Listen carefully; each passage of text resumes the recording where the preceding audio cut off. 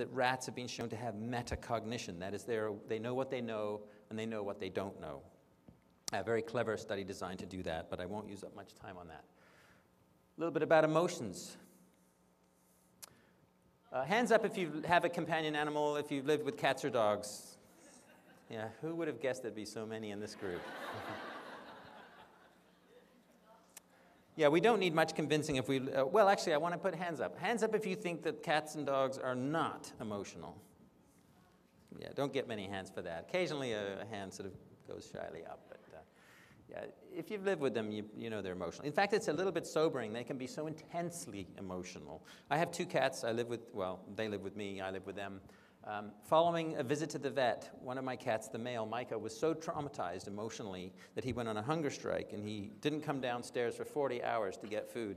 He was not the one who'd been to the vet, it was actually Megan.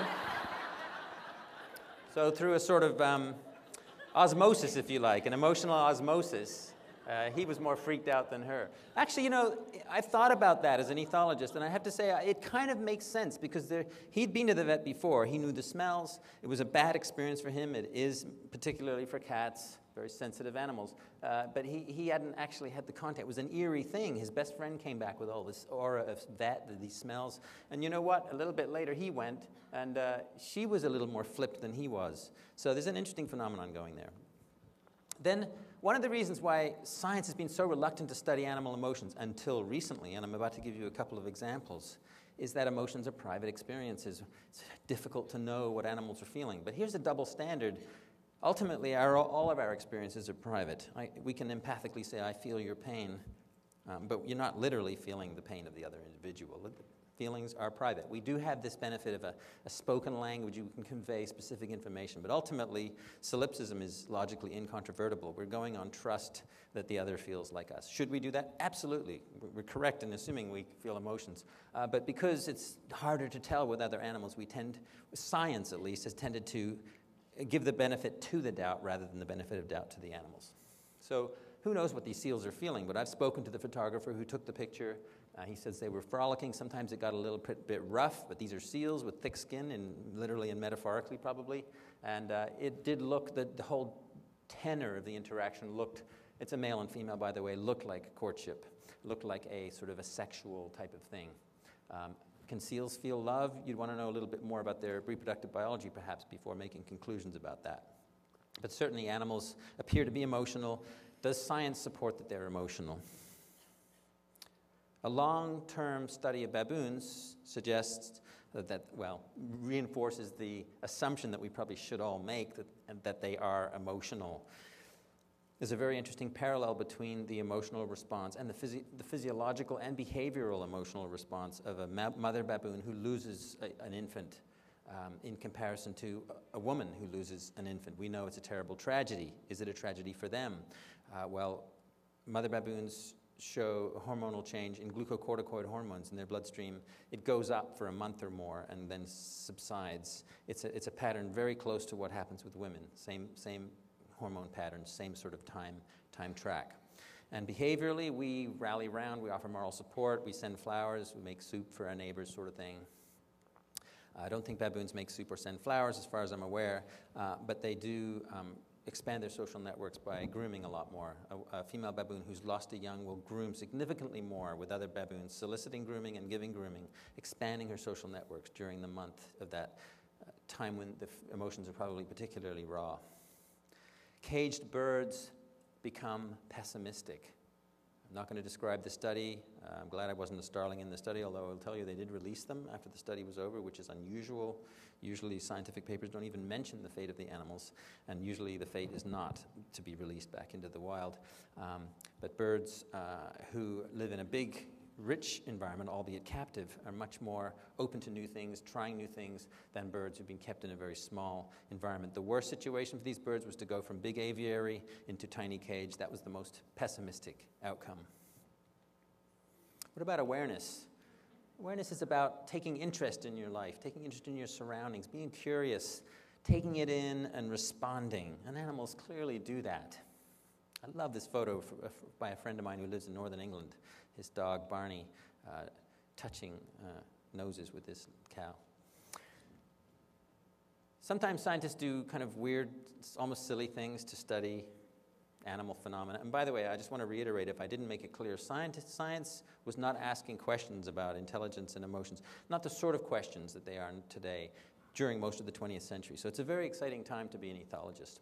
In this particular study, uh, they wanted to see what sort of uh, are elephants keeping mental tabs on other elephants. And this is something that's kind of assumed and kind of understood and, and thought that they do. These are long lived, large brained animals. They do have their legendary memories. So one way to test it was what they did was they waited till elephants were moving from A to B. Let's say A is over here and B is over here. So we're moving this way. And elephants who encounter fresh urine that was deposited by an elephant in the group and dug up and redeposited. If it's urine, fresh urine from elephants who are walking ahead of them, the elephants don't take much notice. I mean, they do check it out. They're always keeping tabs that way, or they appear to be. Um, however, if they encounter fresh urine from elephants who, uh, that's been dug up from elephants behind them and quickly surreptitiously put by the scientists in front of the walking elephants, they take much more notice. They, they, uh, they twist their trunks more.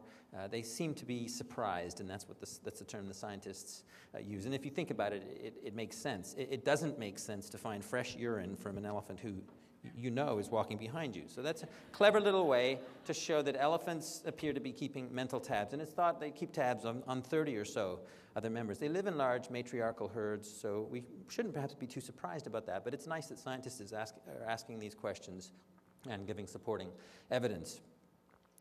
The mirror self recognition test is thought to be the holy grail of, of self recognition in, animals. Animals who fail this test, it doesn't mean they don't, don't, recognize themselves or have a sense of self, but animals who pass this test, uh, it's thought that they do have self awareness. And um, the way the test works is that if this is a mirror, uh, I have a spot put on some part of my body where I can't see my forehead until I see the mirror. And if I see my reflection in the mirror and I immediately move to try and touch the dot, you know, look at it, uh, then it suggests that I, I'm aware that what I'm seeing in that image is myself. If I go behind and, you know, or make threat displays or whatever, that's suggestive that maybe the individual isn't recognizing it as oneself. Until 2008, uh, great apes, elephants, and dolphins had been shown to uh, the only species that had passed this mirror self-recognition test. And then some, a team in Germany uh, tested magpies. And you can see the yellow dot on this magpie. This magpie, on seeing him or herself in the mirror, immediately began to try and remove the yellow dot. Once again, you can go on YouTube and watch it. If it was a black dot, which is the control, the, the bird ignored it, didn't notice it. It's camouflaged against the black bib. And by the way, these are just a few snapshot examples of many, many other examples of these sorts of phenomena. Communication is a nice window into the inner lives of animals. Let's talk about another rodent, the prairie dog, an animal who has the unfortunate um, uh, lot to have many natural enemies. And perhaps that's why prairie dogs have evolved a sophisticated alarm calling system. They're not the only ones, a number of other animals do too. Chickens have a very sophisticated alarm call system. Prairie dogs have different calls for aerial predators, um, coyotes, domestic dogs, different response to each. Domestic dogs are a little slower and more predictable, and coyotes are a little wilier and know how to catch ground, uh, prairie dogs, so there's different call, different response. Uh, humans, they also modify their calls for different uh, aspects. It's not fully understood why, but the, with modifiers, their vocabulary gets up to over 100. Uh, size, shape, color, and if a human is carrying a gun, they modify the call.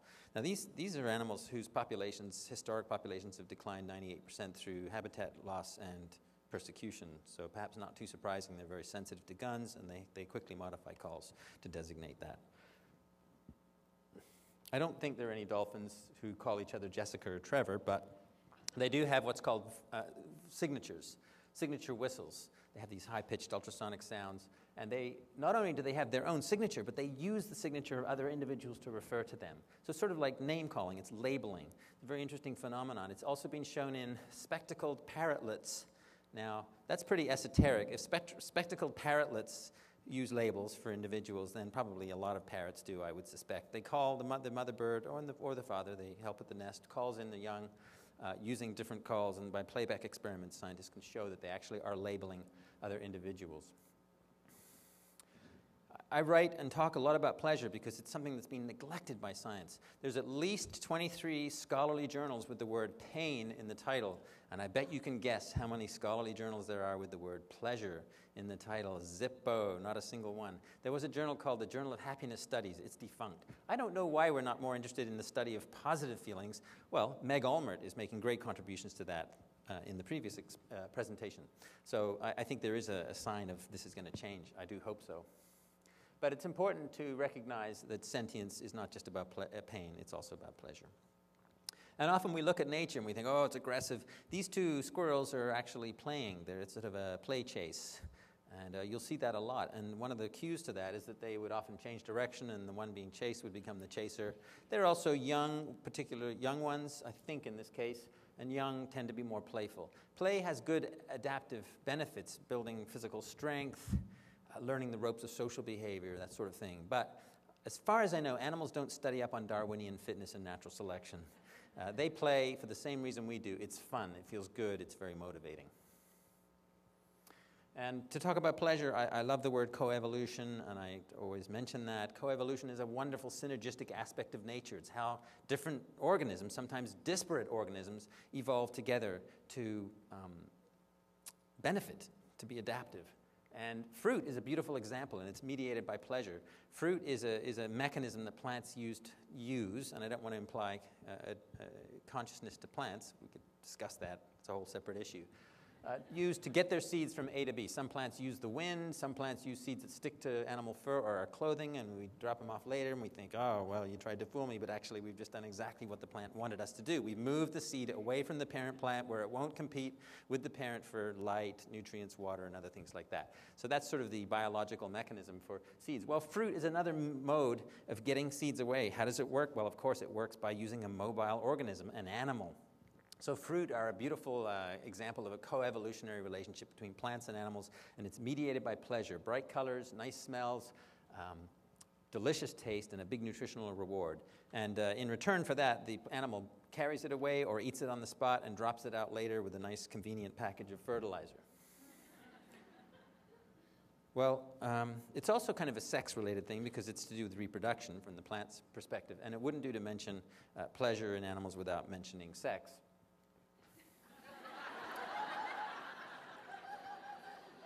So I've mentioned it. I'm going to move on.